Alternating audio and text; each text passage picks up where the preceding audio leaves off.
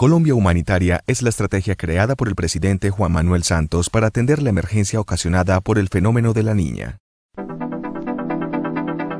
Colombia, por su ubicación geográfica y su variable topografía, es un país propenso a sufrir las inclemencias del clima. El reciente fenómeno de la niña ha generado una de las situaciones más difíciles que se hayan presentado históricamente en materia de emergencias. Por eso, uno de los objetivos centrales del Gobierno Nacional es fortalecer la prevención frente a las catástrofes naturales. Colombia Humanitaria es una estrategia integral que ha hecho un aporte fundamental para el avance de los sistemas que permiten la prevención oportuna de las emergencias. Los recursos destinados por Colombia Humanitaria para el mejoramiento tecnológico del Sistema Nacional para la Prevención y Atención de Desastres permiten ahora la observación, el estudio y la interpretación en tiempo real de la información sobre posibles alertas en el país y su implementación en el terreno a través de planes y acciones oportunas.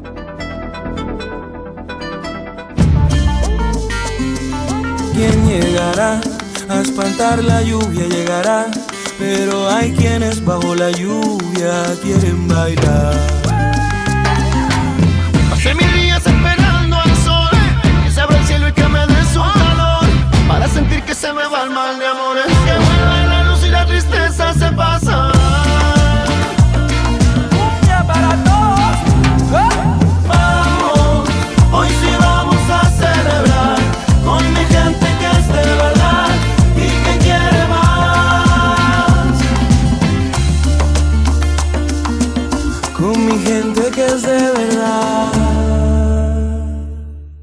Sistema que lo integra muchas entidades que deben hacer y cumplir un propósito común.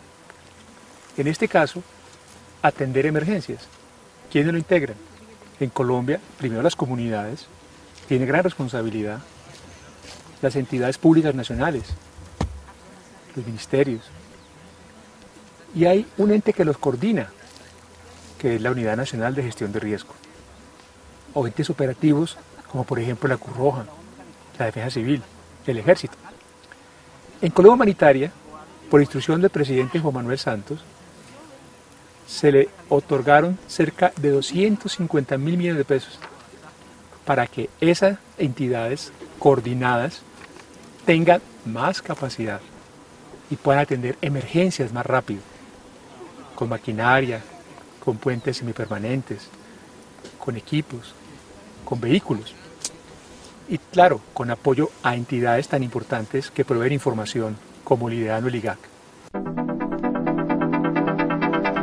El IDEAM es el Instituto de Hidrología, Meteorología y Estudios Ambientales.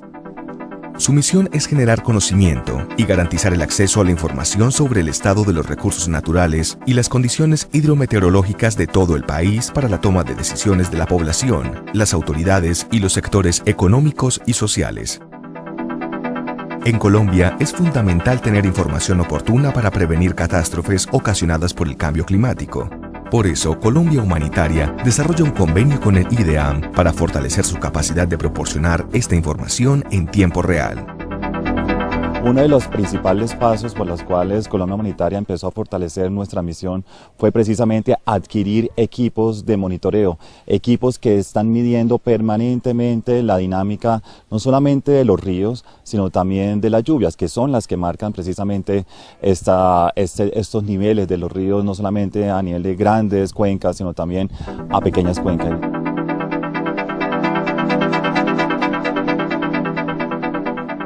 Este instante nos encontramos en el río Bogotá, en la parte alta del río Bogotá, en Santa Rosita, en la vereda de Tausaquira.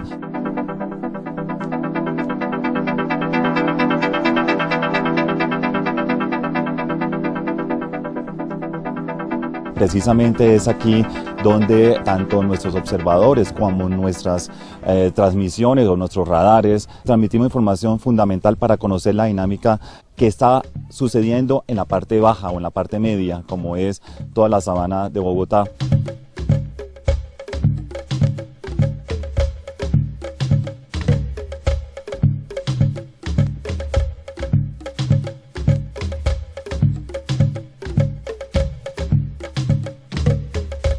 Este equipo es uno de los equipos que se adquirieron con el convenio del Fondo Nacional de Calamidades IDEAM y básicamente es un equipo perfilador de corriente acústico. Lo que hace el equipo es emitir pulsos de sonido, los cuales se reflejan en las partículas en movimiento que se encuentran en el agua.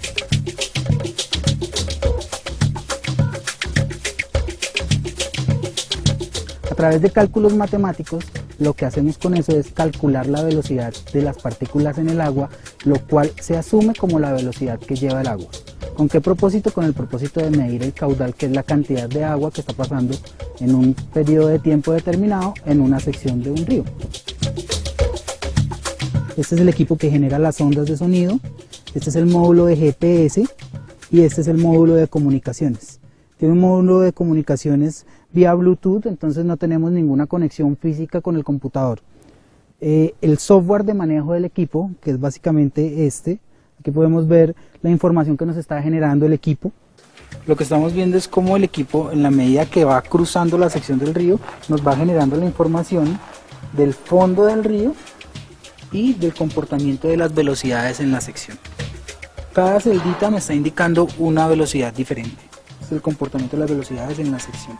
En la medida que el, que, que el bote se está acercando a la orilla, entonces yo estoy viendo cómo se me está construyendo la sección transversal del río. En el actual escenario de cambio climático que vive el planeta, es importante contar con informaciones precisas y detalladas que permitan tomar acciones preventivas en tiempo real. Las nuevas tecnologías aportadas por Colombia Humanitaria representan un avance fundamental para el país frente a los métodos tradicionales de medición.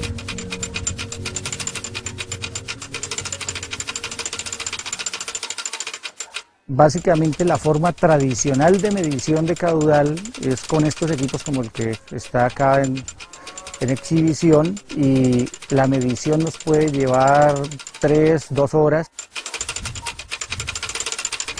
Luego el proceso y el cálculo en oficina otro tanto, es decir, yo no dispondría la información inmediatamente.